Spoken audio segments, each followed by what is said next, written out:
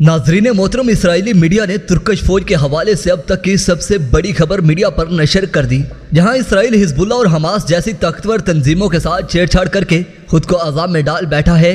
तो दूसरी जानब, इसराइली वजी अजम नेतन्याहू की धमकी के बाद तुर्की ने इसराइल के खिलाफ एक्शन लिया है कि इसराइली फौज की दरो दीवार हिलकर रह गई। नाजरीन ग्रामी जैसा कि आप अच्छी तरह से जानते हैं कि पिछले कुछ दिनों से यहूदी मुल्क, इसराइल के इस्लामी मुल्कों के साथ हालात इंतहाई कशीदा हो चुके हैं।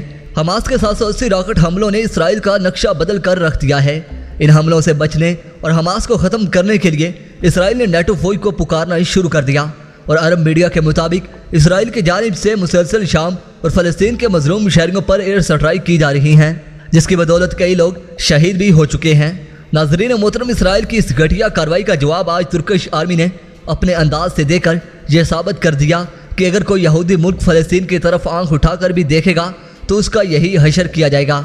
नाजरीन ग्रामी स्क्रीन पर चलने वाली खबर को आप गौर से देखिए, जिसमें बताया यह जा रहा है कि शाम की सरहद पर तुर्की और इसराइल की फौजों के दरमियान बड़े पैमाने पर गोलाबारी हुई है, जिसके नतीजे में इसराइली फौज को इंतहा का नुकसान उठाना पड़ गया है।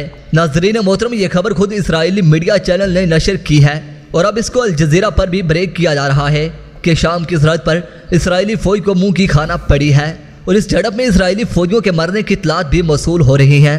प्यारे दोस्तों, आपके इल्म के लिए आपको बताता चलूँ कि इसराइल, जो कि खुद को दुनिया का ताकतवर तरीन मुल्क तस्वर करता था, आज इसे इसराइल को शामी तंजीमों ने बुछाड़ कर रख दिया है। इसराइल का एयर डिफेंस सिस्टम मुकम्मल कबाड़ का ढेर बना दिया गया है। अब अगर अरब इसराइल जंग जैसे हालात बने तो इसराइल को अमेरिका भी बचा नहीं पाएगा, क्योंकि तंजीमें इस कदर मज़बूत हो चुकी हैं कि अमेरिका पहले ही इनके आगे हाथ खड़े कर चुका है। इसके अलावा इन्हें पाकिस्तान, तुर्की और ईरान की फुल सपोर्ट भी है। इन्हें ज़्यादातर हथियार ईरान डिलीवर करता है। नाजरीन, मोहतरम वीडियो पसंद आने की सूरत में शुरू को लाइक कीजिए और दोस्तों से शेयर कीजिए और कमेंट सेक्शन में हमास जिंदाबाद, फ़लस्तीन जिंदाबाद का नारा ज़रूर कमेंट कीजिएगा। नाजरीन, मोहतरम, इसके साथ ही इजाज़त चाहूँगा। अपना और अपने अपनों का ढेर सारा ख्याल रखिए। अल्लाह निगेबान।